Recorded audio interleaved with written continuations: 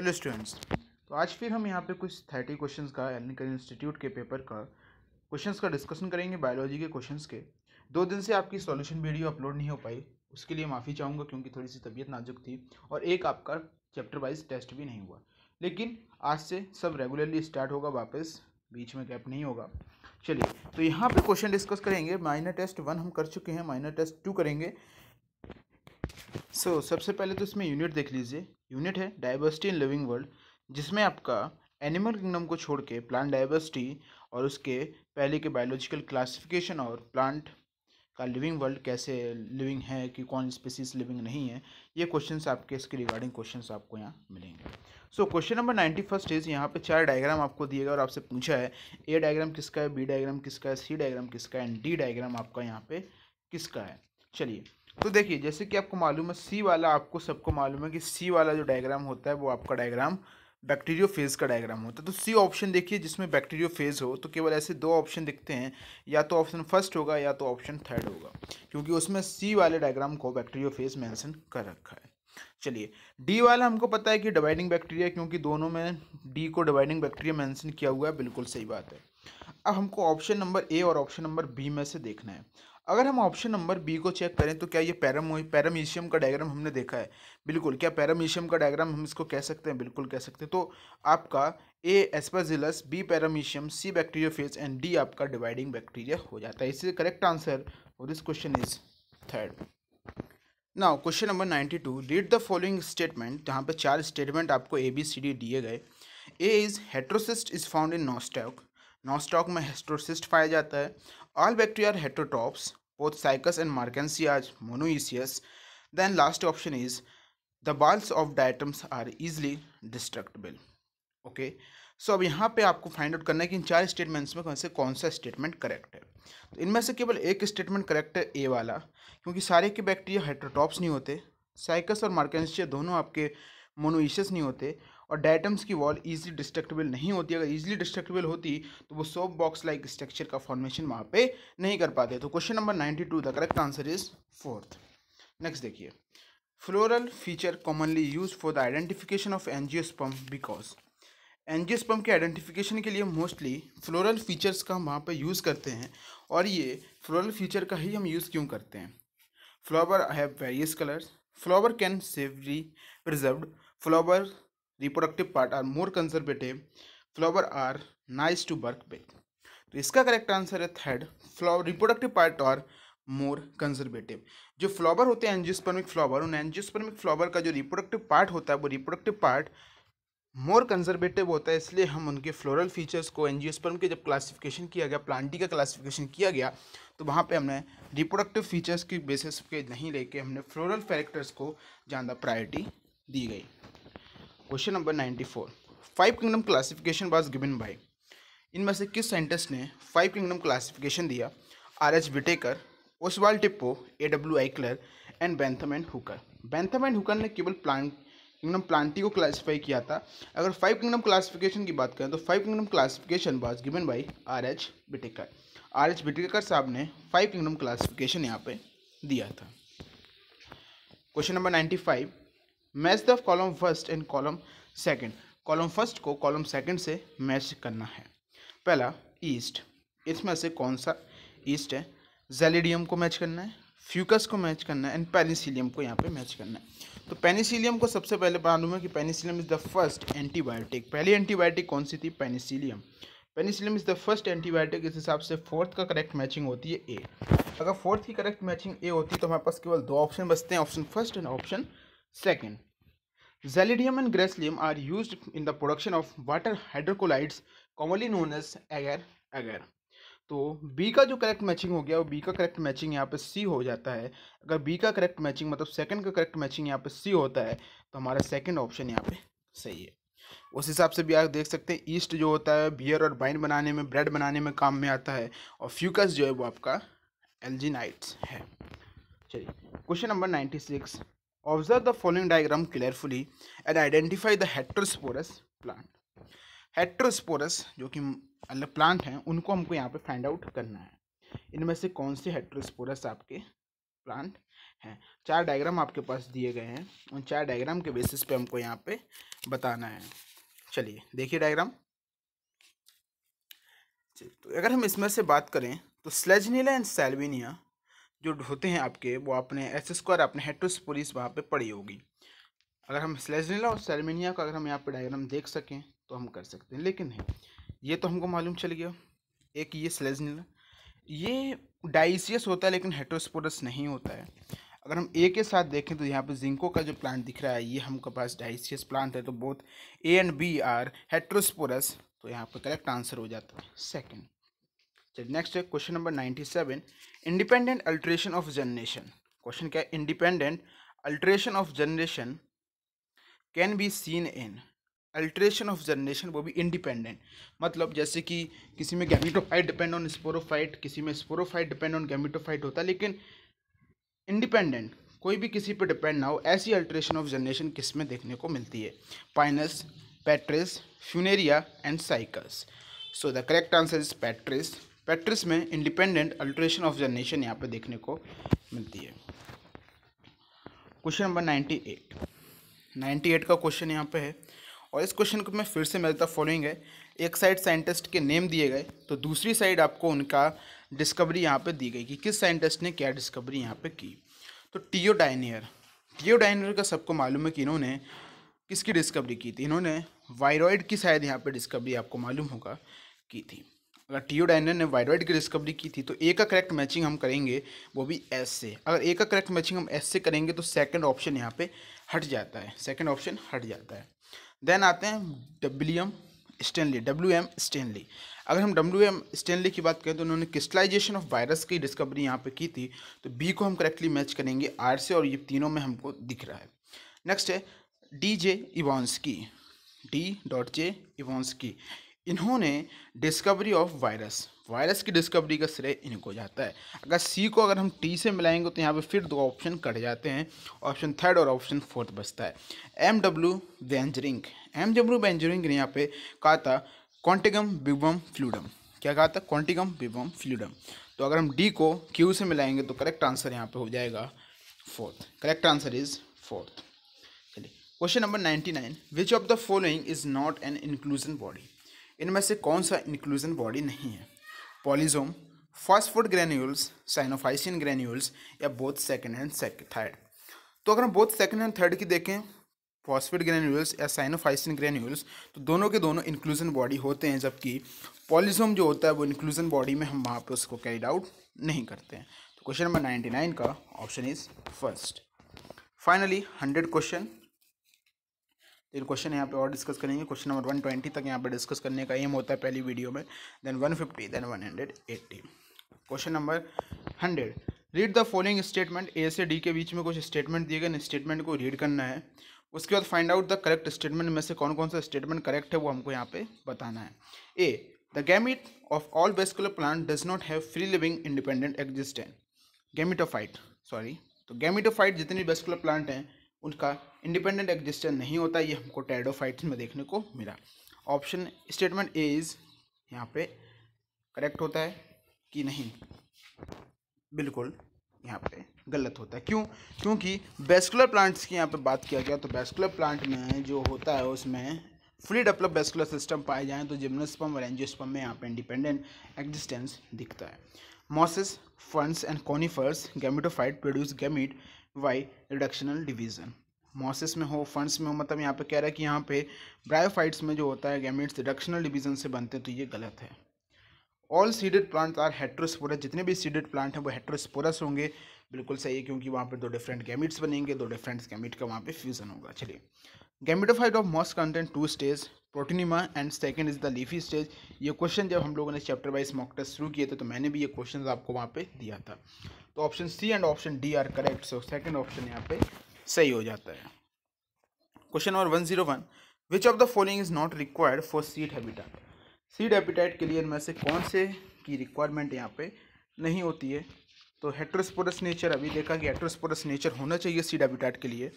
Independent alternation of generation इसकी कोई requirement नहीं होती है। आंसर ये मिल गया, लेकिन दो ऑप्शन और चेक करेंगे। Retention of female gametophyte on the parent sporophyte बिल्कुल सही बात है। जब तक फियर पेरेंट्स फीमेल गैमेटोफाइट नहीं रहेगी तो फ्यूज़न वहाँ पे आप कैसे करवाएँगे? Presence of integument of megasporangium अगर इंटेगमेंट नहीं होगी तो फिर वहाँ पे आपका जो सीड कॉट होगा, उसका फॉर्मेशन कैसे होगा? तो इसमें से करेक्ट आंसर है second question number one zero two which of the following taxonomic category hierarchy will have the maximum number of common character इनमें से किसके पास maximum number of common character होंगे? तो आप ऊपर से देख लीजिए।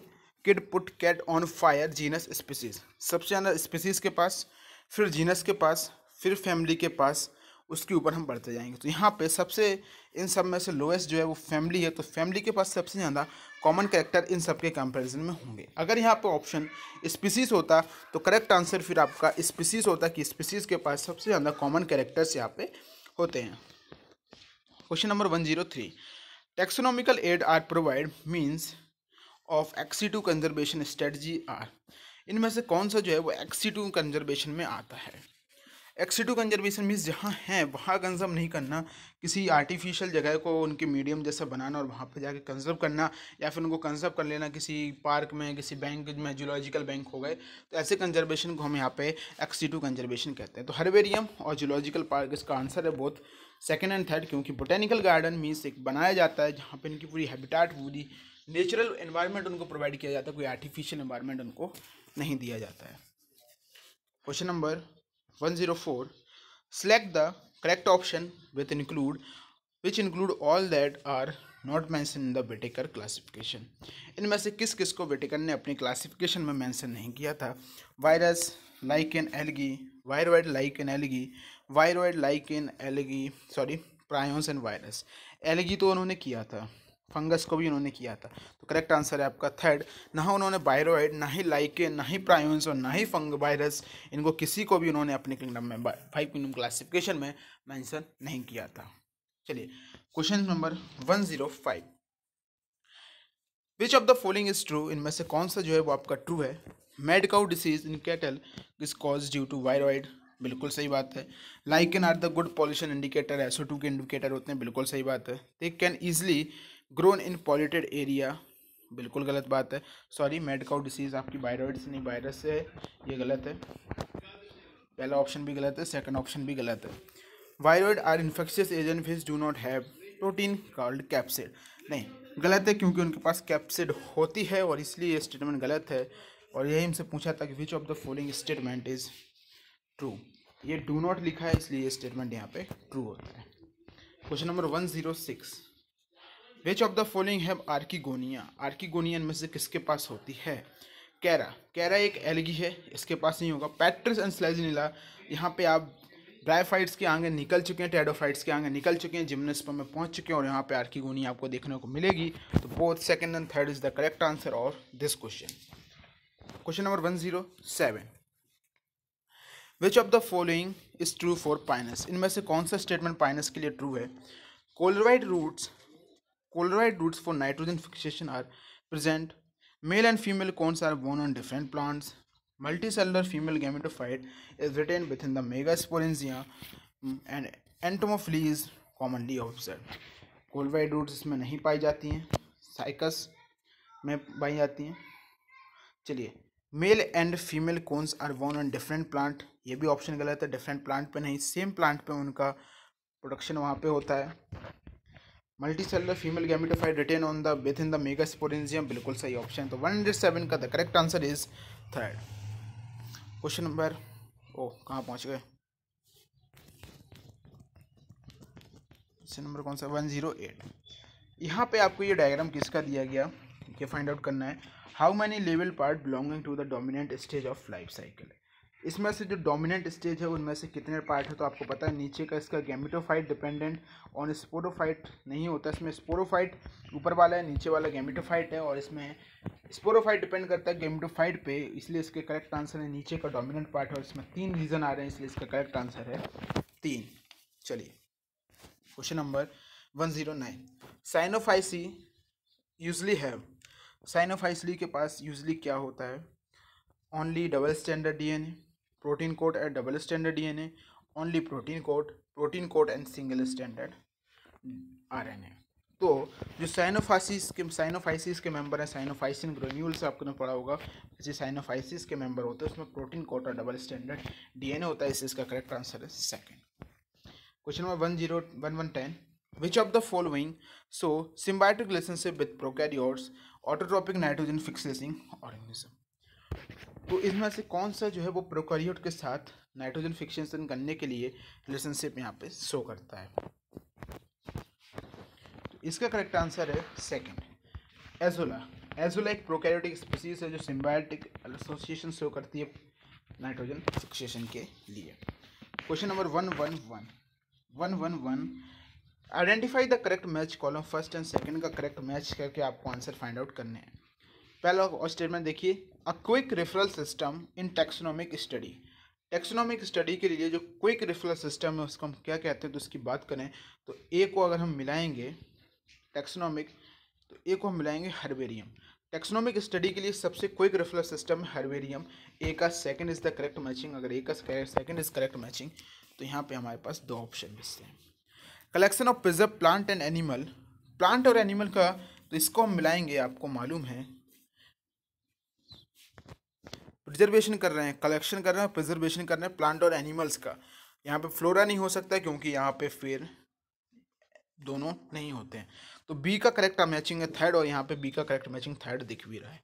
C is index of plant species found in a particular area index of plant species found in a particular area अगर हम इसकी बात करें तो इसको हम कहते हैं फ्लोरा किसी फ्लोरा को हम कहते हैं प्लांट और फोना को हम यूज़ करते हैं एनिमल्स के केस में, और डी ऑप्शन है complete information of any one taxon is known as an monograph so इसका सॉरी फ़र्स्ट आंसर इसका करेक्ट आंसर हो जाता है. Question number one one two wheat grass wheat grasses monocotyledon and Plantae so wheat है grass है monocotyledons है and Plantae क्या show करते हैं? कि same taxa of different category अलग अलग कैटेगरी के सेम टैक्सा में different taxa of same category अलग अलग टैक्सा वो भी सेम कैटेगरी के। Same taxa of same category ये सारे के सारे एक ही टेक्स और एक ही कैटेगरी के हैं। Different taxa of different category सही बात है। वीट एक अलग में आता है। लेकिन एक मोनोकॉटिलन से एक अलग चीज़ और प्लांट ही तो किंगडम हो गया, इसलिए different taxa of different category question number one one three question number one one three found in fresh water as well as in marine water environment, microscopic plankton indestructible cell wall. अगर indestructible cell wall आ गई और chief producer in ocean आ गया तो उसका सीधा एक ही आंसर आना चाहिए कि इसको हम कहते हैं डाइटम्स क्या कहते हैं हम इसको?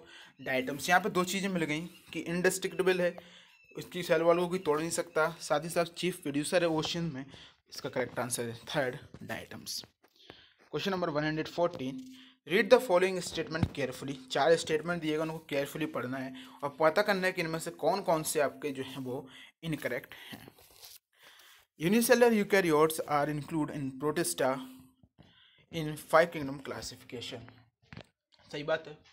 प्रोटेस्टा यूनिसेलर यूकैरियोट्स होता है, जबकि मोनरा यूनिसेलर प्रोकैरियोट्स होता है।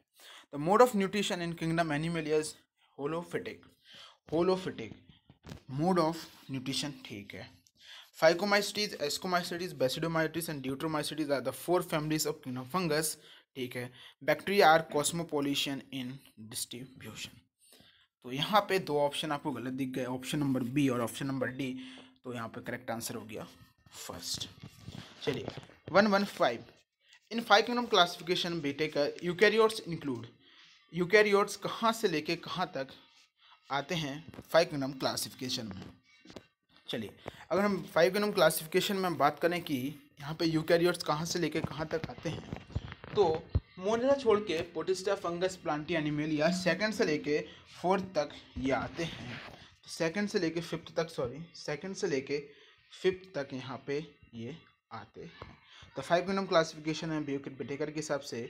ये आपके सेकंड टू फिफ्थ तक आते हैं तो इसका करेक्ट आंसर हो गया second 116 first step of animal taxonomy is, animal taxonomy का फ़र्स्ट स्टेप है आइडेंटिफिकेशन, फिर नॉमनक्लेचर, फिर क्लासिफिकेशन, फिर सिस्टमेटिक अरेंजमेंट यहाँ पे करते हैं। तो इसका पहला आंसर इज़ करेक्ट कि सबसे पहले हम उसको आइडेंटिफाई करेंगे किसी भी ऑर्गेनिज्म को, फिर उसको नॉमनक्लेचर करेंगे, फिर उसको हम क्लासीफाई करेंगे देन हम उसको सिम्बायोटिकली अरेंज करेंगे। Which of the following statement is correct tautonyms is not applicable for plants सही बात है प्लांट के लिए कभी भी टोटोनोम्स का यूज़ नहीं किया जाता, इसका यही करेक्ट आंसर है। Tautonyms are not applicable for animal गलत बात है. एनिमल्स में हम टोटोनिम्स यूज़ करते हैं. Naja naja. Tautonyms are mostly applicable for the microbes by sometimes for the animals बिल्कुल गलत है. माइक्रोब्स के लिए कम करते हैं. Tautonyms are applicable for all plants plants के लिए टोटोनिम हम करेक्ट कभी भी यूज़ नहीं करते. तो पहला ही इसमें स्टेटमेंट सही बाकी सारे स्टेटमेंट गलत हैं. ईच स्टेटमेंट इन अ की इज़ कॉल्ड की का हर स्टेटमेंट को हम लीड कहते हैं और उसकी पैड को हम कहते हैं कपलेट ये कॉन्टेस्टिंग कैरेक्टर पे बेस्ड होती हैं। लेकिन हमसे केवल ये पूछा कि हर स्टेटमेंट को हम क्या कहते हैं? लीड कहते हैं। ये वैसे तो ये सारा का सारा उसी के लिए रिगार्डिंग है, की के लिए, लेकिन उस की के एक पर्टिकुलर स्टेटमेंट को हम लीड कहते हैं और ये कॉन्टेस्टिंग कैरेक्टर के बेसिस पे होती है। One hundred nineteen life cycle with zygotic meiosis is founded haplontic life cycle haplontic life cycle मतलब मोस्टली क्या है? हैप्लॉइड जाइगोट में म्योसिस हो रहा है किसमें पाया जाएगा? ये नॉर्मली आपका पता है कि एलगी जो होती है, उनके एलगी में जाइगोटिक म्योसिस पाई जाती है, उसका करेक्ट आंसर है। फ़र्स्ट क्योंकि ब्रायोफाइट में स्पोरोफाइट और गेमिटोफाइट दोनों पाए जाते हैं हेप्रोडिप्लॉन्टिक ये उसी का एग्ज़ाम्पल है बैक्टीरिया में नहीं होता है। क्वेश्चन नंबर वन ट्वेंटी आज का final question which of the following is not consider as a living fossil इनमें से किसको लिविंग फॉसिल नहीं मानते। आर्के बैक्टीरिया सबसे प्रिमेटिव है, मानते हैं। साइकस को मानते हैं जिंको को मानते हैं, लेकिन पाइनस को हम लिविंग फॉसिल्स नहीं मानते तो उसका करेक्ट आंसर है फोर्थ और यहाँ तक इस टेस्ट के पहले तीस क्वेश्चन हमने कंप्लीट किए। नेक्स्ट हम बाद में डिस्कस करेंगे। Thank you